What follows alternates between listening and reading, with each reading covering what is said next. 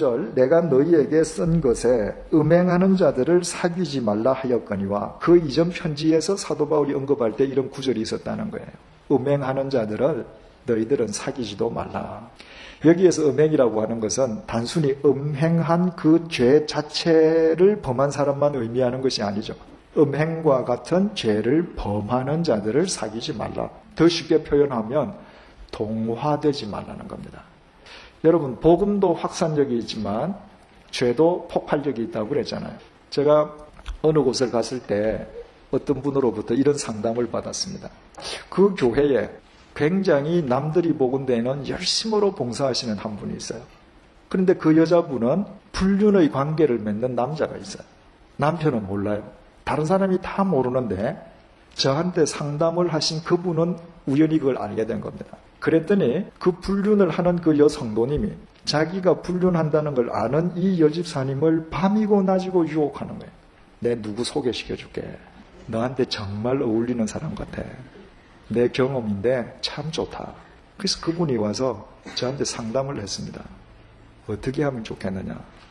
교회 안에서 그분하고 안 사귀는 방법밖에 없죠. 이제는 돌아가셔서 고인이 되셨습니다만은 70년대 한국에서 제일 유명했던 부흥사 중에 이천성 목사님 계시잖아요. 저도 그분한테 큰 영향을 받았거든요.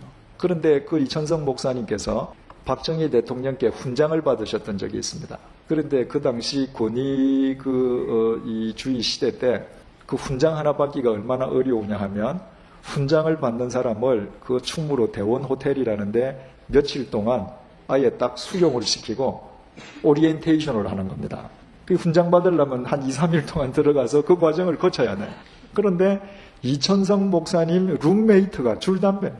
처음에는 들어가셔서 담배 피는 게 골치가 아프고 역겹고 했는데 하루가 지나니까 아 요게 괜찮아요 냄새가 이틀째 되니까 나도 한 번만 빨아볼까 그 유명한 목사님도 그렇습니다 정말 죄는 칼로 무를 자르듯이 자르겠다라고 하는 내어 버리겠다고 하는 내 결심이 없으면요 참 쉽게 동화됩니다 그래서 사도 바울은 사귀지도 말라 하였거니와 10절 바로 사도 바울의 이 말을 고린도 교인들이 오해를 했습니다. 그래서 10절에서 이렇게 해명을 해요. 이 말은 이 세상의 음행하는 자들이나 탐하는 자들과 토색하는 자들이나 우상 숭배하는 자들을 도무지 사귀지 말라 하는 것이 아니니 만일 그리하려면 세상 밖으로 나가야 할 것이라.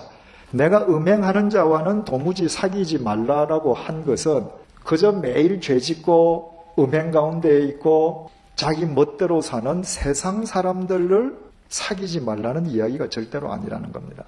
여러분, 우리 세상에 나가면 하나님 모르는 사람들 다 자기 마음대로 살잖아요. 그 사람들을 사귀지 말라고 말, 말 않겠다고 내가 결심한다면 우리는 다 보따리 싸들고 수도원 가야죠. 사도 바울이 하는 말은 내가 음행하고 죄 짓는, 죄 짓는 자, 홍해 저쪽에서 아직 미적거리는 사람들과 사귀지 말라는 대상은 그런 사람이 아니라는 거예요. 그럼 누구를 두고 얘기하는 건가? 11절. 이제 내가 너희에게 쓴 것은 만일 어떤 형제라 일컫는 자가 교회 밖에 있는 사람이 아니라 예배당 안에 공동체 안에 믿음의 형제 자매라고 하는 사람 중에 같은 그리스도인이라고 하는 사람 중에 공공연히 죄와 더 벗하는 자가 있으면 그들을 하게 동화되지 말라는 것입니다.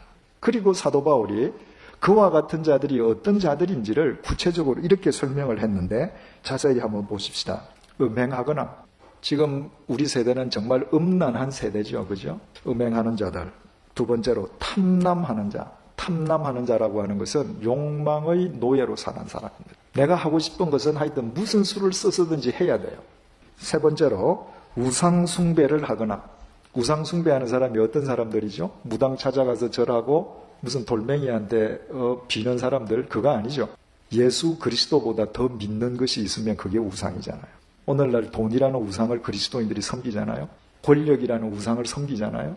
후욕하거나 후욕이라고 하는 것은 까닭 없이 남을 중상모략하는 것입니다. 이게 교회입니다, 여러분. 교회처럼 많은 사람들이 서로 모여서 교제하는 공동체가 없기 때문에 자칫 잘못하면 거짓 소문 듣고 사람 중상 모략하는 데가 교회입니다. 후욕하는 자, 술 취하는 자, 술이 나쁜 게 왜 나쁘죠? 우리의 영혼과 정신을 혼미하게 하지 않습니까?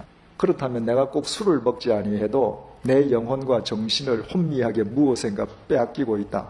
취한 건 똑같은 거죠. 그죠? 토색하는 자, 토색하는 자는 당연히 남에게 돌아가야 될 몫을 불이하게 가로채는 겁니다. 자, 사도 바울은 이런 자들은 사귀지도 말라. 제일 11절 후에 보십시다. 토색하거든 사귀지도 말고 그런 자와는 함께 먹지도 말라 함이니라. 세상 밖에 있는 사람들이 아니라 예배당 안에서 이렇게 사는 사람들하고는 함께 먹지도 말고 사귀지도 말라. 그러면 여러분, 우리가 정말 냉철하게 한번 생각해 보십시다. 지금 사도 바울이 거명한 이 여섯 가지에 해당되지 않는 그리스도인, 우리가 누구를 사귈 그리스도인이 있겠습니까? 우리가 이 예배당 내에서 여기에 다 해당되지 않는 사람을 사귈 사람을 손꼽는다면 몇 사람을 뽑아낼 수 있을까요? 아니 거꾸로 다른 사람이 나를 거리낌 없이 사귀어도 좋을 만큼 나는 여기에서 다 지금 벗어나 있는가? 이 사도 바울의 말씀 앞에 서면 오늘날 교회가 얼마나 순결성을 상실하고 있는가? 우리가 그리스도를 믿는다라고 하면서도 얼마나 순결과 거리가 먼 상태에 있는가? 우리 스스로 깨닫게 됩니다. 12절 외인들을 판단하는데 외인들은 교회 밖 세상 사람들입니다. 외인들을 판단하는데 내게 무슨 상관이 있으리요마는 세상 밖 사람들을 나는 판단하지 않는다는 것이죠. 왜? 13절 보니까 외인들은 하나님이 판단하시려니와 세상 밖의 사람은 하나님이 심판하셔요. 세상 밖의 사람은 우리가 오히려 긍휼의 대상으로 삼고 전도의 대상으로 삼고 그들에게 나아가서 진리의 빛이 되어 주지만 그들이 끝내 돌아오지 않는 것은 하나님께서 판단하실 문제예요. 나는 상관 안 해도 돼. 그러나 교중 사람들이야 교중 교회 내 교인들이죠. 교중 사람들이야 너희가 판단치 아니하랴. 한 교회 지체를 이루고 있는 사람이 그렇게 공공연하게 죄된 삶을 산다면 너 한 사람이 아니라 목사, 장로, 집사, 권사 너 한 사람이 아니라 너희 모두에 모두 교회를 이루고 있는 지체 모두가 정말 옳고 그른 것이 무엇인지 생각해야 되지 않겠는가. 13절 외인들은 하나님이 판단하시려니와 아까 말씀드렸죠. 세상 바깥 사람들은 하나님이 심판하시려니와 이 악한 사람은 너희 중에서 내어 쫓아라. 내어 쫓아라라고 하는 이 명령형이 2인칭 복수형입니다. 자, 문제가 있는 교인 한 사람을 목사 네가 잘 보고 정 안 되겠거든 너가 쫓아라 이 말이 아닙니다. 너희 중에서 제일 기도 열심히 하고 신앙이 열심인 사람, 네 눈에 안 좋은 사람, 너 한 사람이 누군가 잘못하는 사람을 속아내어서 쫓아내라 이 말이 아닙니다. 너희들 모두가 너희들 모두가 다 한 마음이 되어서 내어 쫓아라. 그러면 여러분 보십시다. 한 사람이 특정한 사람을 미워해서 그 사람을 집요하게 비판하고 쫓아내는 건 굉장히 쉽습니다. 그런데 모든 교인들이 다 모여서 어떤 특정한 잘못을 범한 한 사람이 있다고 하십시다. 이 사람을 한 마음으로 쫓아내고자 하면 어떤 현상이 생길까요? 누군가가 그 사람의 죄를 고지해야 되겠죠. 자, 여러분, 이 사람은 이런, 이런, 이런 구체적인 죄를 지었습니다. 그래서 우리 교회의 순결성을 위해서 이 사람 내어 쫓으십시다. 그러면 그 자리에서 모든 사람들이 다 동의합니다, 제청합니다. 이렇게 될 것 같습니까? 교회는 성령님의 전이잖아요. 그 한 사람을 놓고 성령님께서 역사하시겠죠. 세상 사람들은 죄를 고발하고 그 죄에 대한 상응한 벌을 주고 그것으로 끝냅니다. 그러나 성령님께서는 사랑과 공의가 한데 어우러진 성령의 역사를 일으키시겠죠. 누군가가 이렇게 말할지 몰라요. 주님께서는 일흔 번씩 일곱 번이라도 용서해 주라고 하셨는데 우리가 공개적으로 이렇게 할 수 있겠습니까? 지난 시간에 말씀드린 것처럼 어떤 사람은 또 이렇게 말하는지 몰라요.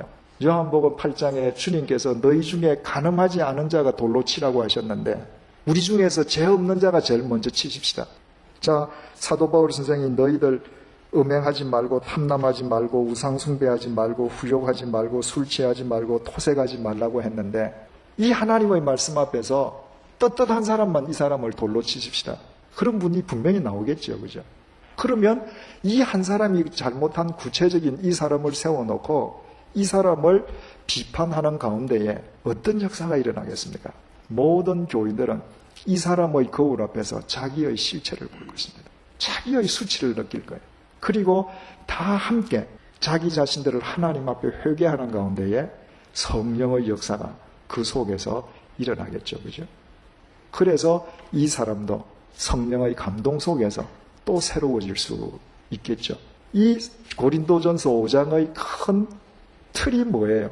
출교하라, 내어 쫓아라, 못하는 사람들은 무조건 단죄하라. 그것이 목적이 아니라 그런 과정을 통해서 그 사람을 바로 세워주라는 것 아닙니까? 그렇다면 여기에서 그런 죄를 짓는 자를 내어 쫓아라고 사도 바울이 강력하게 말하는 이 내어 쫓으라고 하는 깊은 의미를 우리는 파악할 수 있죠.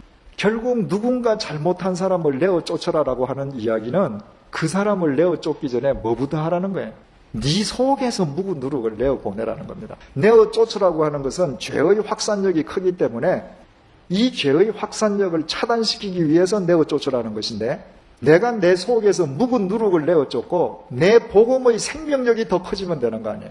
죄의 폭발력이 더 크냐, 복음의 폭발력이 더 크냐, 결국은 이 문제인데 우리 각자가 생명의 폭발력을 제대로 갖고 있으면 지금 강도하고 들어온 사람도 우리를 통해서 역사하시는 성령님의 역사 속에서 그도 새로운 생명을 맛볼 수 있지 않겠습니까? 따라서 네오 쫓으라고 하는 것은 정말 죄를 지은 자들에게 동화되지 말라는 그 일차적인 뜻이 있지만 그것과 아울러 교회의 순결을 지키기 위해서 그리스도인 한 사람 한 사람들이 하나님 앞에서 자기의 아비월을 기억하면서 자기 자신을 얼마나 순결하게 세워가야 되는지를 바울은 이렇게 우리에게 강조하고 있는 것입니다. 여러분, 교회가 순결해진다고 하는 것이 뭐라고 그랬죠? 교회는 우리 자신이에요. 교회가 순결해진다고 하는 것은 여기 페인트 칠 다시 하는 거 아니지 않습니까? 우리가 순결해지면 교회는 순결한 것이고 주님께서는 언제나 한 시대는 순결한 그리스도인들을 통해서 정화시켰습니다. 강을 건넌 뒤에는 뗏목이 필요 없어요. 뗏목을 버리고 가야 합니다. 강을 건너고서도 뗏목을 지고 간다면 그보다 더 어리석은 사람이 없겠죠. 우리는 홍해를 건넌 사람이에요. 옛 묵은 누룩이 이제 더 이상 있어서는 안 됩니다. 내려둬야 합니다. 그때 우리의 삶은 진정한 아비월이 시작될 것입니다. 하나님 아버지, 6월절 어린 양 되신 예수 그리스도로 인해서 하나님의 심판이 우리를 패스 오버해 주셨습니다. 그리스도 안에서 이미 우리는 새로운 피조물이요. 누룩 없는 떡임을 다시 한번 확인시켜 주셔서 감사합니다. 우리는 이미 홍해를 건넌 자요. 우리의 삶 속에 아비월이 시작되었음을 알게 해주셔서 정말 감사합니다. 주님, 그럼에도 우리는 고린도 교회 교인들처럼 어리석게도 새로운 피조물이 되기도 원하고 누룩무룩도 즐기려고 했습니다. 나의 코끝에서 호흡이 끊어질 때 나를 책임져 줄 수 없는 것들로 자랑하느라 우리의 인생을 낭비했습니다. 그 모든 잘못을 일깨워 주시고 너희는 누룩 없는 자인데 하고 우리의 정체성을 다시 확인시켜 주셔서 정말 감사합니다. 주님, 누룩 없는 떡으로 온전히 순전함과 진실함으로 우리 하나님의 영광을 드러내게 도와주옵소서. 매일매일 오늘이 아비벌이요, 오늘이 새해요, 새로운 피조물의 새날임을 인식하며 살아갈 수 있도록 도와주옵소서. 우리 각자 각자가 순결하게 해주시어서 우리 교회가 순결할 수 있도록 도와주시고 순결한 이 교회가 혼탁한 이 시대 진리의 등대가 될 수 있도록 도와주옵소서. 우리 각자 각자가 생명의 폭발력을 지니고 살아가게 해주셔서 많은 사람을 살리는 생명의 통로가 되게 하시되 우리 가운데에 한 사람도 죄의 폭발력을 지니고 다른 사람을 실족해 하는 어리석은 자가 없도록 도와주옵소서. 우리 주 예수 그리스도 연애와 하나님의 사랑과 성령님의 교통하심이 순결한 그리스도인으로 살아갈 것을 결단하는 주님의 사람들과 100주년 기념교회 위에 이제로부터 영원토록 함께 해주시기를 간절히 축원하옵나이다. 아멘.